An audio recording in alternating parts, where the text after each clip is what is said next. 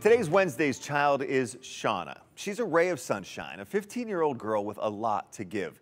Her zest for life is really fun to watch. We caught up with her at Wahooz in Meridian for a little bit of fun and to learn more about her and what kind of home she is looking for. You guys are going to be the fourth part in this first play. The best things about Shawna is that she's just super silly and fun.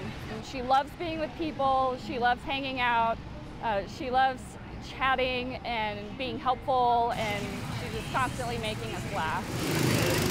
Shawna is a teenage girl with a big love for life. She tried just about every attraction at Wahoo. She's very active. She loves to be out and about, doing activities, playing sports, going on hikes or walks. She loves swimming. She works hard in school, and she takes pride in that. Overall, she's she's a good student. She works hard. She's not a big fan of math, but she does enjoy um, music and she enjoys um, like art and things like that.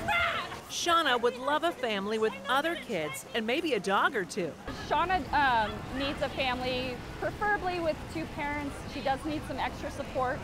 She is hopeful that they'll have pets. Um, and she is hopeful that they might have young children. She is so social that she does enjoy having other kids around. Shawna's social worker is looking for a family who will support her special connection with her mom and her siblings. They do stay in touch. Shawna has a very strong connection to her mother, um, her, her siblings as well, but mom in particular.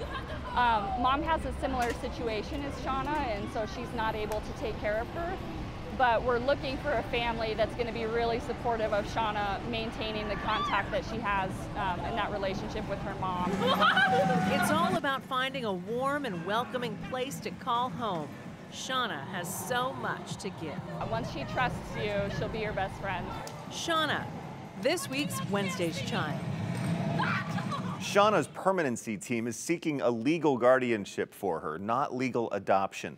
The hope is that the chosen family will remain in her life long after she turns 18. For more information on this special girl, contact Idaho Wednesday's Child. Shawna's team would love to talk to you about her.